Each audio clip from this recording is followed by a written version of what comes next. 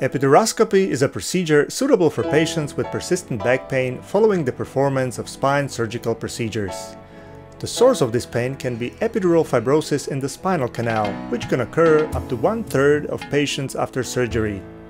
The site and the manner of pain distribution are highly variable, depending on the site of affliction on the spine. It is not possible to clearly identify the presence of fibrosis from computed tomography or magnetic resonance imaging. Therefore, a suitable technique to display the spinal canal is by endoscope and subsequent fibrosis removal using a laser. This method is suitable for patients whose pain manifests itself by radiating to the legs without apparent cause. The backbone canal consists of a solid bony casing that forms vertebrae. Among the fibrous casing and casings of the spinal cord, there is the epidural space, Beneath the spinal casings, there is a barrier consisting of cerebrospinal fluid which surrounds and protects the spinal cord. Pathological fibrous tissue is formed in the epidural space, most commonly in the frontal part of the spinal canal. The patient lies on the abdomen during the procedure.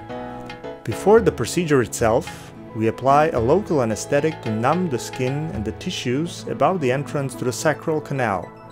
The patient is conscious during the procedure.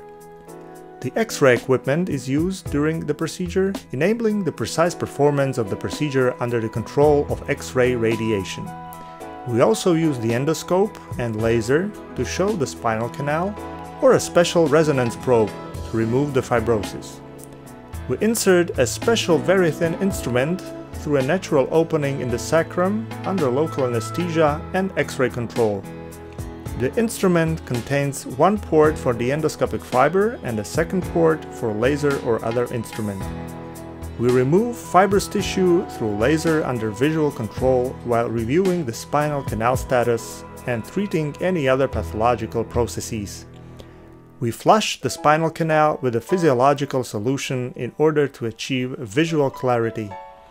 Medications are administered through the instrument into the spinal canal. The duration of the procedure varies from 20 to 60 minutes. Epiduroscopy is a very complex procedure that gives us important diagnostic information concerning the spinal canal.